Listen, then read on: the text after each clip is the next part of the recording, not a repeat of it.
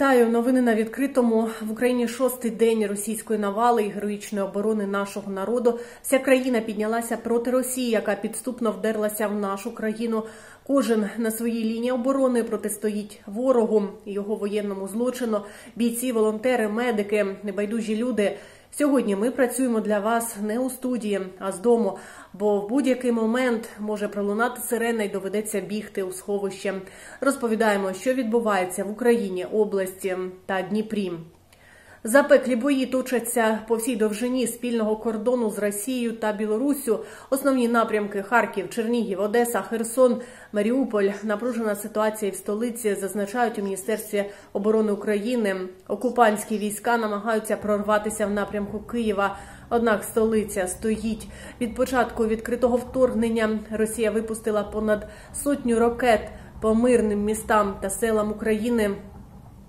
У вогні не тільки стратегічні об'єкти та військові бази, як запевняє своє населення російський президент, а й житлові будинки та лікарні. За даними МОЗ України, з початку військового вторгнення Росії на ранок, 28 лютого, було поранено понад 2 тисячі мирних жителів. Загинули 352 людини, із них 16 дітей. Та великі втрати противника за весь час. Українськими збройними силами знищено понад 5700 російських військових, сотні в полоні, ліквідовано майже 200 танків та 29 літаків ворога. У Дніпрі ситуація контрольована, як і в області. У місті транспорт ходить із 7 до 18, обмежені в русі. На Дніпропетровщині немає. Якщо хочете допомогти, не робіть нічого самотужки. Звертайтесь до керівників райдержадміністрацій. Все у нас готово. За ніч у нас не відбулося надзвичайної ситуації. Жодної людини військової форми держави-агресора не зафіксовано на території нашої області. Все працює в штатному режимі, все працює за розкладом.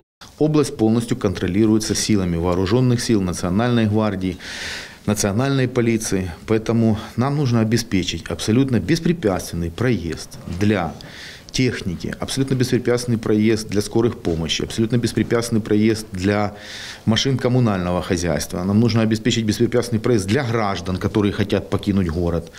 И э, большая очень просьба для того, чтобы не нарушались логические цепочки, запретить э, полностью, вернее, запрещается полностью занятие самодеятельностью.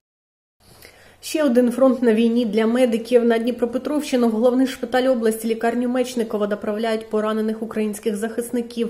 Ми не можемо повідомляти їхню кількість та стан проти героїв у білих халатах шостий день на роботі. Генеральний директор медзакладу Сергій Риженко розмістив фото лікарки реаніматологині Надії Казімірової, яка цілодобово рятує життя. Через війну планова госпіталізація в лікарні Мечникова призупинена. Невідкладні ж консультації проводять у відділенні екстреної медичної допомоги допомоги. Поліклініка працює в режимі телеконсультацій. Більшість лікарень. Зараз працюють у посиленому режимі 24 на 7, аби не навантажувати лікарню Мечникова. Центр матері та дитини імені Рудніва на проспекті Пушкіна 26 розгорнув травмопункт для всіх, кому потрібна допомога. Приймають і дітей, дорослих із побутовими травмами. У Дніпропетровській облдержадміністрації наголошують, у медзакладах наразі всього вистачає. На сьогоднішній день медична система Дніпропетровської області працює стабільно, лікарні працюють в підсиленому режимі і готові до надання будь-якої допомоги екстреної і невідкладної у надзвичайних ситуаціях. Всі лікарні забезпечені медикаментами, перев'язувальними матеріалами, необхідними ліками для лікування від ковід, від будь-яких інших надзвичайних ситуацій, киснем забезпечені. Е, прошу. Е, будь ласка, не нагромоджуйте і не довіряйте будь-яким фейковим повідомленням. На сьогодні є в лікарнях і лікарські засоби, і е, забезпечені необхідними простирадлами, носками, трусами, е, їжею. Все це наявне в лікарнях. Тому давайте довіряти лише всім е, достовірним каналам і не створювати ніяких е, панічних е, повідомлень. Медзаклади нині мають достатньо запасів крові всіх груп. Дніпряни вже шостий день стоять по 7 годин у чергах, аби стати донором. Якщо ви все ж бажаєте здати донорську кров або ж записатися в чергу, окрім банку крові на проспекті Богдана Хмельницького, це можна зробити і в міській четвертій лікарні на вулиці Ближня 31 та в лікарні швидкої допомоги, що на вулиці Бориса Антоновича 65. Дніпро перетворилося на суцільний волонтерський штаб. Місто збирає допомогу для тероборони військових, поранених та переселенців із найгарячіших точок. Вже шосту добу поспіль не припиняють роботу волонтерські штаби по всьому місту. Люди згуртувалися та допомагають. Хто чим може, несуть воду, харчі, посуд, військове спорядження, а також одяг та дитяче харчування. Зокрема, найбільший волонтерський штаб розташований на проспекті Поля 2D біля ракет. Він працює з 9 до 18. Також опорні пункти працюють по всіх районах Дніпра, щоб людям було зручніше робити свій внесок у перемогу. Інформацію з більш детальними адресами волонтерських штабів та актуальними списками потреб можна знайти на сторінках координаційного штабу волонтерів Дніпра у соцмережах. Сьогоднішній день ми на 100% хочемо закрити потребу саме в екіпіровці військових. Нам дуже важливо, щоб вони вночі спокійно себе відчували, і щоб вони боронили наші кордони і захищали саме себе. Всі наші контактні телефони є теж в мережі Фейсбуку. Якщо ми не відповідаємо, можете писати в месенджери. Ми месенджери читаємо і відпрацьовуємо цю інформацію. Ми навчилися прислухатися до сирен, швидко збиратися та рахувати сходинки у найближчий підвал чи сховище. Наша Альона Вєтрова про ситуацію у метро на житломасиві Покровський. Туди укриваються люди, коли чують звуки повітряної тривоги. Ситуація на 12-ту. Сьогодні зранку мешканці житлового масиву Покровський, які усі дніпряни вже двічі спускалися в укриття через сигнал повітряна небезпека. Але піднявшись на поверхню, знов починали займатися своїми справами, ходити по магазинах та аптеках, гуляти із дітьми. Кажуть, за останні кілька днів вже навіть трохи звикли до сирен, але почувши їх, знов прямують до укриття. Сегодня с утра уже два раза побывали в укрытии, в метро. Некоторые это игнорируют, но никто не застрахован. Если будет сирена, мы опять пойдем с Василисой. Страшно? Страшно. І про обстановку в Таромському, що в передмісті Дніпра, маємо інформацію від наших журналістів. Звідки ж люди отримують інформацію у разі тривоги та який настрій у місцевих? Далі Ольга Величко розкаже. Вітаю колеги. Ми наразі перебуваємо у Таромському, це селище неподалік Дніпра. І хочу сказати, що ось я вийшла в день прогулятися вулицями і вже бачу, що вони звичайно порожні. Де-інде зустрічаються е, люди, але вони, е, як правило, виходять або до крамниці, або до аптеки або е, хтось прямує на роботу, а так без нагальної потреби люди не виходять. Де інде проїжджають машини, але їх також мало. Хочу сказати, що ми проживаємо неподалік від е, залізничних колій. Чуємо, як ходять потяги, курсує громадський транспорт. Але найголовніше е, сирени. Сирени у Таромському не чутно. Люди отримують сповіщення від месенджерів у месенджерах, а також по телеканалу. Е, Ми, нам вдалося зустріти одного чоловіка.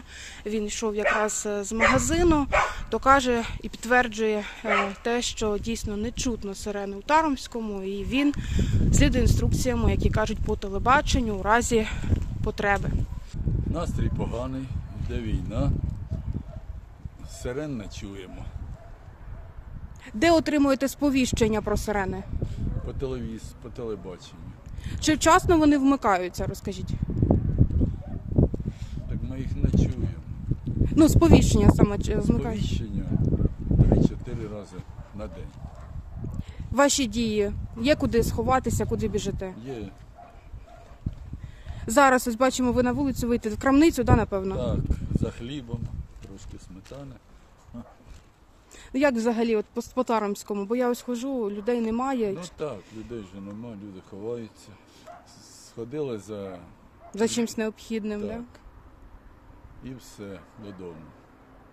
Дбають про продовольчу безпеку попри сирени вже шостий день, відколи Росія підступно напала на Україну. Компанія Strong Trade, що входить до агрохолдингу KSG Agro, працює в посиленому режимі. Щодня на м'ясокомбінаті передають зо 15 Щодня на м'ясокомбінаті переробляють зо 15 тонн свинини та одразу відправляють продукцію військовим, які боронять спокій мешканців області, та пораненим у лікарні та до торговельних мереж Варус і Сільпом.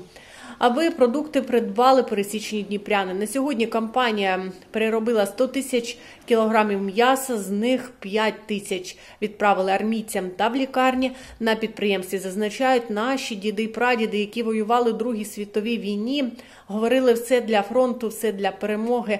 Така ж ситуація і зараз, хоча важко повірити, що в 21 столітті одна країна бомбардує міста і села іншої суверенної держави та вбиває мирне населення. Майже півсотні країн світу підтримали Україну у протистоянні російській агресії. Про це заявив міністр закордонних справ Дмитро Кулеба. Допомога включає в себе боєприпаси, протитанкову та зенітну зброю та медикаменти. Відтак за минулу добу від закордонних партнерів Україна отримала. Летальну зброю на 450 мільйонів євро від ЄС, на 230 мільйонів доларів гуманітарної допомоги від Норвегії та 110 мільйонів євро від Італії. Бельгія надала 3 тисячі автоматичних гвинтівок та 200 одиниць протитанкової зброї, а Німеччина півтисячі зенітних ракет Стінгер. Доєдналася до летальної допомоги також Австралія, Чехія та Швеція. Окрім цього, країни заходу карають російського агресора й санкціями. ЄС масово закриває небо для російських літаків. Заблокована робота двох найбільших держбанків Росії Сбербанк та ВТБ. Спільний комітет Рад Європи призупинив участь Росії у всіх її органах. Окрім цього, європейська мовна спілка оголосила, що жодна російська група не братиме участі в Євробаченні. А УЄФА офіційно перенесла фінал Ліги чемпіонів із Санкт-Петербурга. Не вбереглися від санкцій Путін і Лавров. Усі їхні активи в ЄС та у Великій Британії заморожені. До списку санкцій потрапили ще 26 впливових росіян.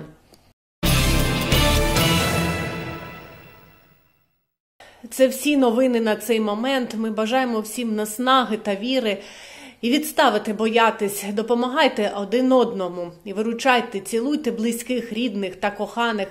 Ми зупиняємо голіруч ворожі танки, щоб окупанти зрозуміли, що їм тут не раді. Україну захищає цілий народ, а значить, ми переможемо.